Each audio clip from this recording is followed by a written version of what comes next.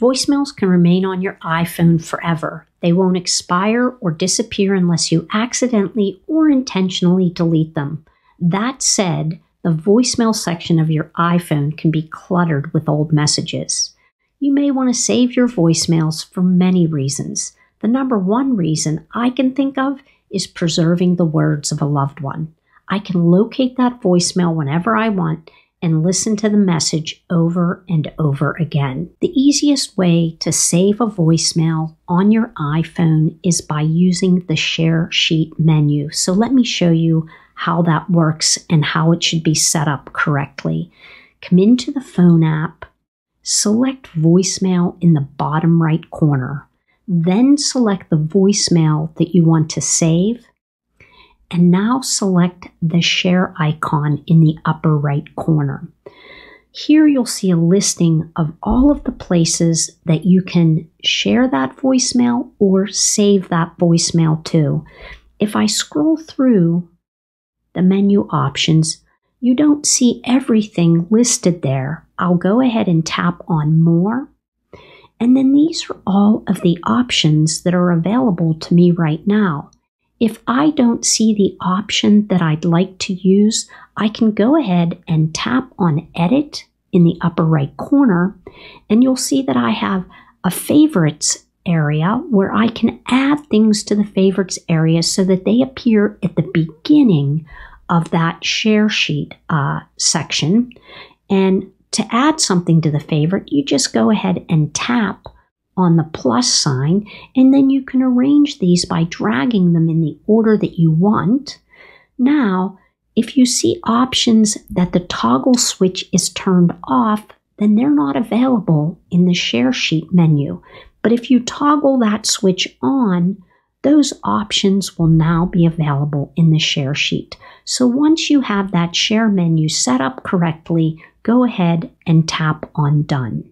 Now that we have the share menu set up the way that we want it, let's go over how to save a voicemail as an audio file in the Voice Memo app, the Notes app, and the Files app. Once we've selected the voicemail that we want to save in the Voice Memos app, and we've tapped on the share icon, we just come into that share option area and select voice memos. Once I select voice memos, you can see that it gives the voicemail uh, a name. You can change that name by just tapping into it and, you know, selecting what you want it to be. So I'm going to type in the name of the individual that sent that voicemail, and I'm going to go ahead and tap on save. And when I do, that voicemail will be saved to the Voice Memos app. To access it, I'm going to swipe up out of my phone app and I'm going to locate voice memos. And if you don't see your voice memos uh, there, type it in and it will appear. I'm going to go ahead and tap on voice memos and you'll see that the recording that I labeled Steve is at the very top of all of my recordings. I can go ahead and tap on that recording I can tap on play to play that voicemail, and that's how easy it is to save a voicemail to the Voice Memos app.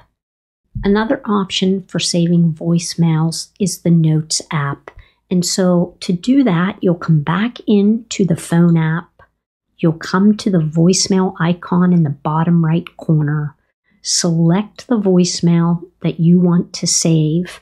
And then again, tap on the share icon. Once I tap on the share icon, now I'll go ahead and choose the Notes app. And a new note will be created. If I want to label that note, I'm going to tap in where it says, you know, add add text. And at this point, I'm just going to put in the name of the individual again who sent me the voicemail.